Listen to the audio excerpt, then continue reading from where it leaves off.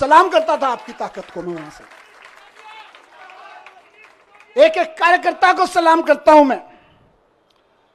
और सिर्फ़ डंडे खाने के लिए नहीं, क्योंकि भारतीय जनता पार्टी की जो एक्सपर्टीज अभी संजय भाई ने बताई, उनमें एक शामिल है कि दूसरी पार्टी के कार्यकर्ताओं को और नेताओं को तोड़ने के दबा के, धमका के सामदान दंड भेद करके, जेल में भेजने की धमकी दे के जेल में भेज के, उनके हमले करवा के उन पर धमकी करवा के, एकमात्र एक्सपर्टीज किसी पार्टी ने पाई है तो वो भारतीय जनता पार्टी है। लेकिन उसके बावजूद, आप टिके रहे। एक एक आदमी टिका रहा। एक एक आदमी झुका नहीं, टूटा नहीं। एक एमएलए कैसे सारे खड़े हैं।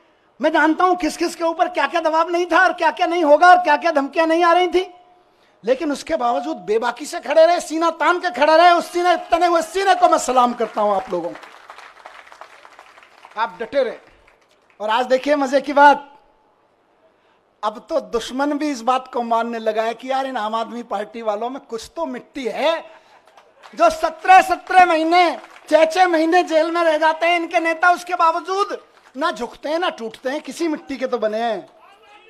ये उस मिट्टी के बने हैं। मैं बताता हूँ, ये उस मिट्टी के बने हैं भारतीय जनता पार्टी वालों, जिस मिट्टी पर भगत सिंह का पसीना की बूंदें गिरी हुई हैं।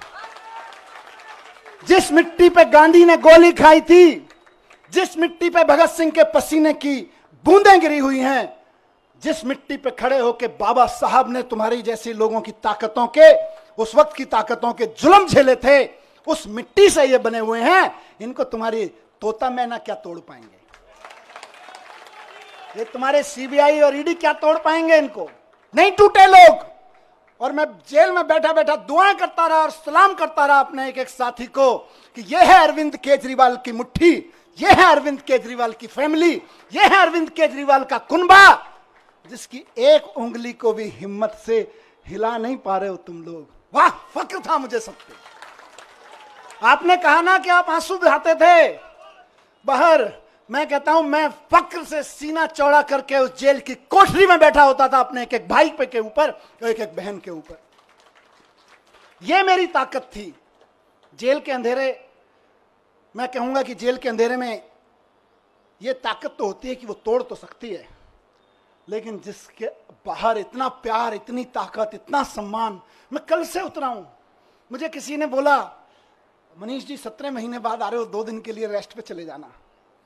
मैंने कहा, यार, जेल के बाहर कदम रखने के बाद पहला हाथ जिस कार्यकर्ता ने पकड़ा था और रात को घर तक जो दूर खड़ा था, केवल देख के गया है, वो उम्मीद लगा रहा है कि मेरा मनीष सिसोदिया मेरा भाई बाहर आ गया है और मैं कहूँ, नहीं, मैं तो छुट्टी जा रहा हूँ, यार।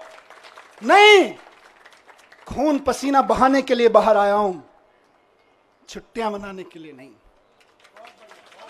एक एक दिन जो संजय भाई ने नारा दिया है कि इनकी जमानत जब्त कराएँगे, आज से और अभी से लग रहे हैं और बीजेपी वालों, ढूंढते रह जाओगे कहाँ गई वोटें। कहाँ गई वोटें? आज से लगना है सबको। जो सुन रहे हैं सोशल मीडिया और मीडिया के माध्यम से एक एक कार्यकर्ता साथी को कहना चाहता हूँ। दिल्ली के एक एक नागरिक को, हरियाणा के एक एक नागरिक को, देश के एक एक नागरिक को कहना चाहता हूँ कि इस तानाशाही के खिलाफ तो एक एक आदमी को वोट करना पड़ेगा, सवाल हमारा नहीं है। तानाशाही के खिलाफ ये जो लड़ाई है, सिर्फ़ आम आदमी पार्टी के कार्यकर्ताओं की नहीं है। सिर्फ़ विपक्ष के पार्टी कार्यकर्ताओं की नहीं है। ये देश के एक एक आम आदमी की है। मैं जेल में था अभी। तो कई सारी खबरें अखबार पढ़ता था, टीवी देखता था, न्यूज़ में। कई सारी खबरें विचलित करती थी। यह विचलित नहीं करता था कि जमानत हुई कि नहीं हुई, इससे कभी मेरे को विचलन नहीं हुआ। मेरे को विचलन किस चीज़ से होता था? मैं देखता था कि देश के कितने कितने बड़े बड़े व्यापारियों को इन्होंने 500 600 बड़े बड़े व्यापारियों को इन्होंने झूठे केसेस सच्चे केसेस इधर उधर के केसेस में बना के बंद कर दिया गया है। उनका किसी पार्टी वार्टी से भी कोई लेना देना शायद ही होगा। लेकिन आप सोचो कि एक व्यापारी अगर कोई मेहनत से काम कर रहा है और उसके ऊपर क्योंकि उसने चंदा नहीं दिया या उसने आपकी किसी पार्टी के नेता से कोई पंगा ले लिया, आपने उसको उठा के जेल में डाल दिया ईडी के केस लगा के, जो केस आतंकवादियों पर ड्रग माफियाओं पर लगाए जाते हैं वैसे वैसे खतरनाक केस लगा के, एक व्यापारी अगर जेल में डाल दिया जाता है, उसके पीछे हज़ारों परिवारों को रोज़गार मिल रहा होता है, वो भूखे मरने लगते हैं, उनकी बदुआ लगेगी, इनको तानाशाही नहीं है तो क्या है? बात सिर्फ़ विपक्षी पार्टियों के नेताओं की नहीं है, बात आम आदमी पार्टी के नेताओं की नहीं है। बड़े बड़े व्यापारियों को उठा उठा के जेल में डाले दे रहे हैं। और एक किसी कंपनी का चेयरमैन जेल में चला जाता है, किसी का मालिक जेल में चला जाता है।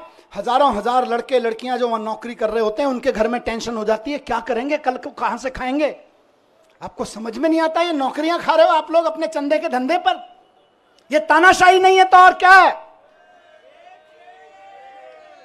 कोई गलत करे तो सजा दो। लेकिन चंदे के धंधे में ईडी का नोटिस भिजवाओ, अपनी एजेंसियों के कानूनी कागज़ भिजवाओ और उसके बाद उसको अंदर कर दो। ये धंधा तो तानाशाही ही कहा जाएगा भाई, ये भ्रष्टाचार के खिलाफ लड़ाई नहीं है, ये तो तानाशाही है। मुझे बताओ कि दस साल, अभी थोड़े दिन पहले बहन आतुषी लड़ रही थी उसके लिए, दस हज़ार शिक्षकों को इन्होंने दिल्ली सरकार के स्कूलों के एक रात में रात को दो बजे ऑर्डर पास कराया, ट्रांसफ़र कर दिया, एक रात में। अब किसी का बच्चा आज पढ़ता है स्कूल में ग्यारहवीं क्लास में, वो तैयारी करा रहे हैं गुरुजी, टीचर, पूरी मेहनत से कि यार इसमें तो आईआईटी में जाने का पोटेंशियल है। कल को टीचर का ऑर्डर मिल रहा है नहीं नहीं, हमने तो दस हज़ार टीचर्स को इधर से उधर कर दिया है क्योंकि हमें तो ट्रांसफ़र पोस्टिंग का शौक था, अब तुम भाड़ में जाओ। ये तानाशाही नहीं है तो और क्या है? बात दस हज़ार टीचर्स की नहीं है, उन लाखों बच्चों की है जिनको वो टीचर्स पढ़ा रहे थे। तुम अपनी अफसरी में, तुम अपनी तानाशाही में दस हज़ार टीचर्स को एक रात में इधर से उधर उठा के फेंक देते हो। ये तानाशाही नहीं है तो और क्या है? यही तानाशाही है जिसके खिलाफ हमको आवाज़ उठानी चाहिए। आज दिल्ली में, दिल्ली, मैं जब सरकार में था उस वक्त, दिल्ली जल बोर्ड का नगर निगम चुनाव से पहले पैसा रोक दिया गया था और आज तक दिल्ली जल बोर्ड का पैसा नहीं दिया गया। फाइनेंस डिपार्टमेंट के अफसरों से इधर उधर से फाइलों पे कुछ कुछ काला पीला करवा के रुकवा रखा है पैसा। इंजीनियर्स परेशान है इलाके के। नाले साफ़ नहीं हो रहे, सीवर साफ़ नहीं हो रहे। और वो कह रहे हम तो पैसा नहीं देंगे। डेढ़ साल से जल बोर्ड का पैसा नहीं दिया गया, जबकि पैसा बजट में पास किया विधानसभा ने। ये तानाशाही नहीं है तो और क्या बताइए?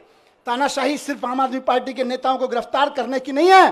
तानाशाही आपके घर के सामने जो सीवर बह रहा है, उसमें जो अभी ओवरफ्लो हो रहा है, वो भी इसी तानाशाही की वजह से हो रहा है। जो नाली नहीं खुल पा रही है, उसको डेढ़ साल से पैसा नहीं मिला ठेकेदार को।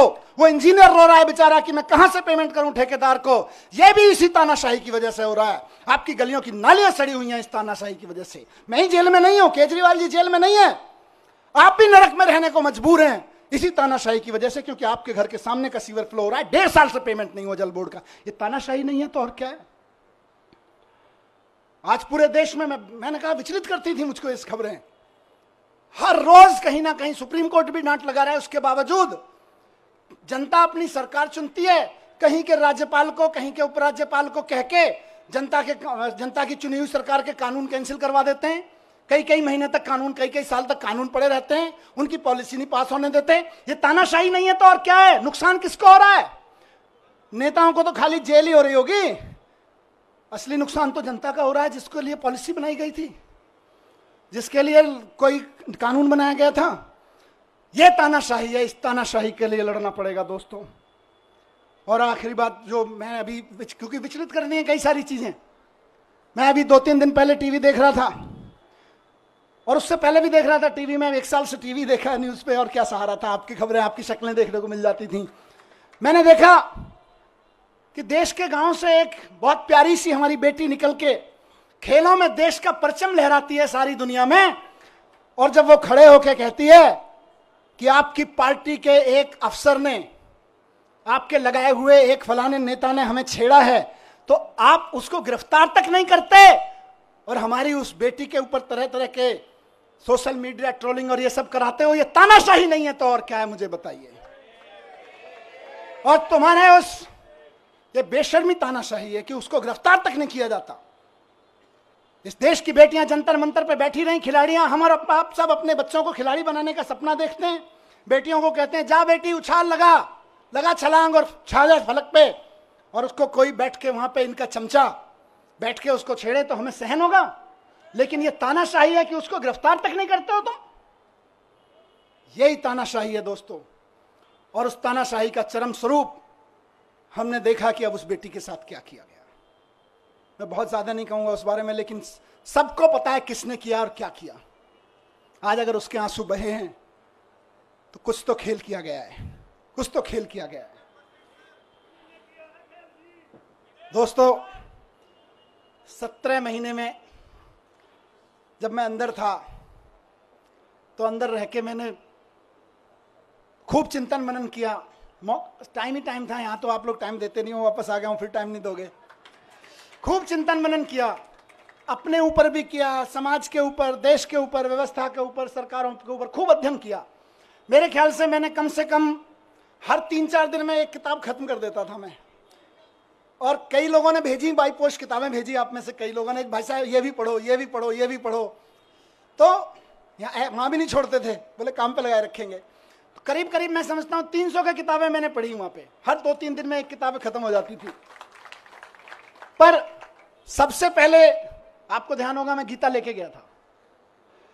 और गीता लेके गया था तो मेरे दिमाग में ना प्रश्न थे कि यार, भगवान मैं तो स्कूल ही तो बनवा रहा था, मेरे को जेल क्यों भेज दिया? मेरी बीवी की, मेरे बच्चे की क्या गलती थी कि मैं दिल्ली के बच्चों के लिए दिन रात सुबह से शाम एक करके स्कूल बनवा रहा था, उनके लिए अच्छे आईआईटी में चले जाएँ, अच्छी नौकरियाँ लग जाएँ क्या? मैंने भगवान से पूछा, अंदर आँख बंद करके कि मेरी क्या गलती थी? मैं जेल में क्यों? तो भगवान ने कहा, गीता पढ़, पता चल जाएगा। अंदर से आवाज़ आई और मैंने गीता पढ़ी। और मुझे जवाब मिल गया। मेरे मन में जो भी सवाल आया, मैं ऐसा नहीं है कि यहाँ कोई उसकी बात कर रहा हूँ।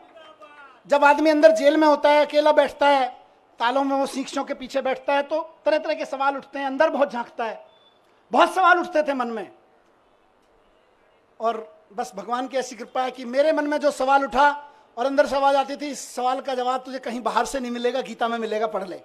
खूब गीता पढ़ी, और बाद में तो मैंने कम से कम दस महान लोगों की व्याख्या, कम से कम दस पढ़ ली होंगी। अलग अलग लोगों की, विनोबा भावे जी की, गांधी जी की, श्री श्री जी की, आचार्य प्रशांत जी की, बहुत लोगों की व्याख्या की हुई गीता मैंने पढ़ डाली, देवदत्त पटनायक की।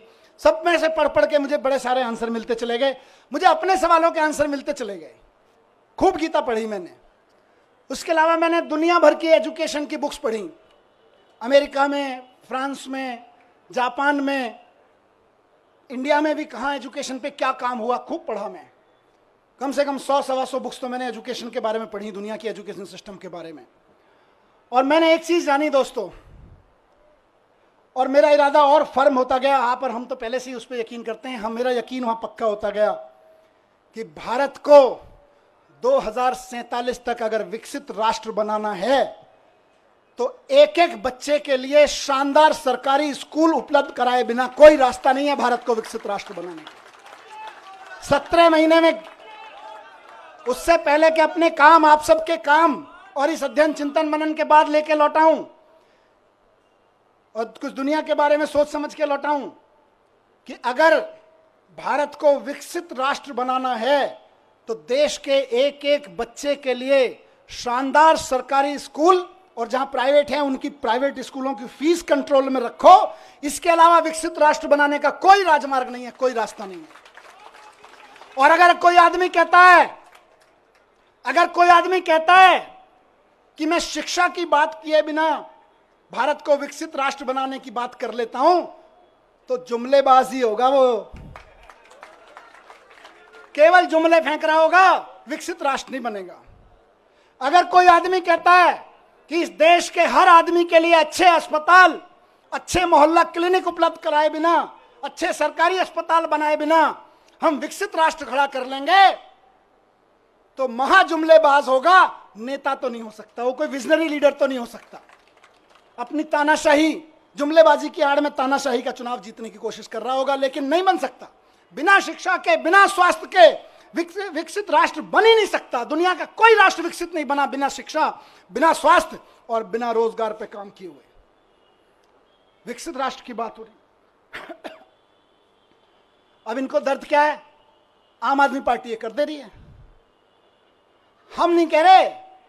लोग कह रहे हैं कि यार ये बच्चे पढ़ जाएँगे तो अपने आप दो का भारत विकसित हो जाएगा। आज ये जो माँ बाप हैं, जो कल आने वाले समय के माँ बाप हैं ये अगर इनको सबको अच्छे अस्पताल मिल गए, आने वाले बच्चों के लिए अच्छे अस्पताल मिल गए तो अपने आप भारत विकसित हो जाएगा। ये आम आदमी पार्टी कर दे रही है। दिल्ली में कर दिया, पंजाब में कर दिया, इस भरोसे पे गुजरात में, गोवा में सब जगह वोटें पड़ने लगी। तब इनको दिक्कत हो रही है। इसीलिए इसीलिए सबको जेल में डालने पर आ गए। फिर से सलाम करता हूँ कि इनकी तमाम ताकत के बावजूद, इनकी तमाम साजिशों के बावजूद बुरे वक्त में चट्टान की तरह से इकट्ठे होकर खड़े रहे आप सब लोग, उस जज्बे को मैं सलाम करता हूँ। ये पार्टी की ये लीडरशिप बीच बीच में लीडरशिप यहाँ खड़ी है, बैठी है, कई सारे एमएलए साथी, कई सारे सीनियर लीडर्स यहाँ सब खड़े हैं। ये सब एक मुट्ठी की तरह से, जिस तरह से खड़े रहे, वो मिसाल है। आने वाले समय में जब आम आदमी पार्टी का आगे जाके राजनीतिक इतिहास लिखा जाएगा देश का, तब लोग कहेंगे कि सबसे बुरे दौर में पार्टी की सारी सीनियर लीडरशिप अपना खून पसीना एक करके सड़कों पे लड़ रही थी, एकजुट होके लड़ रही थी। ये केजरीवाल जी का कुनबा एकजुट होकर लड़ रहा था। केजरीवाल जी का कुनबा बिखरा नहीं। केजरीवाल जी के साथ खड़ा रहा। इसी से इनको डर लगता है। और फिर कह रहा हूँ कि भारतीय जनता पार्टी को अगर लगता है कि मनीष सिसोदिया को जेल भेजने के बाद वो दिल्ली की शिक्षा क्रांति को रोक लगा लगा देंगे तो वो गलती कर रहे हैं, वो भूल कर रहे हैं इस बात की। दिल्ली के हर गरीब आदमी को और ये इलेक्शन का ऐलान कर रहा हूँ।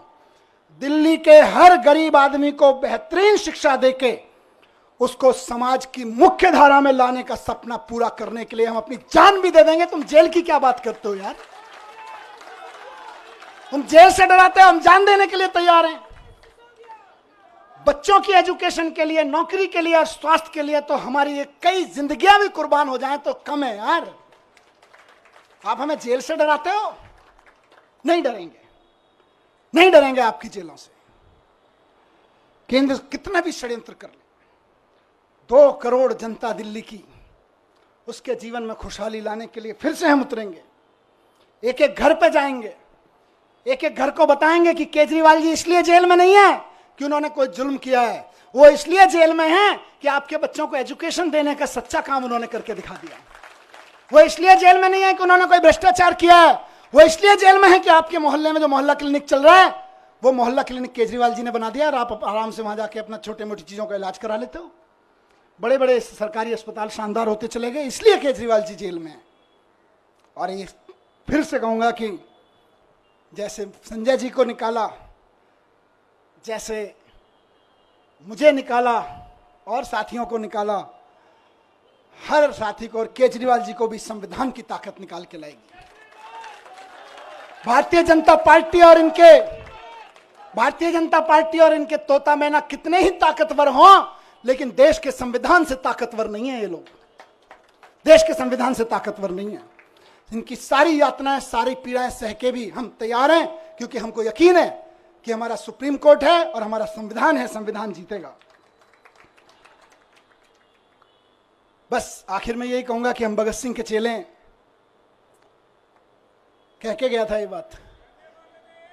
कह के गए थे ना, भगत सिंह के चेले हैं, डरने वाले नहीं है, तुम्हारी जेलों से भी और तुम्हारे तोता मैना से भी। सत्रह महीने में जैसे, जैसा गया था,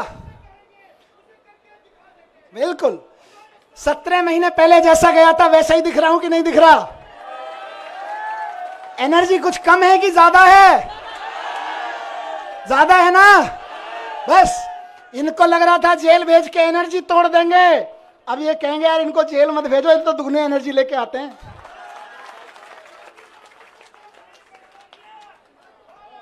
तो दोस्तों, आखिर में एक बात कहूँगा, और वो इंपॉर्टेंट चीज़ है।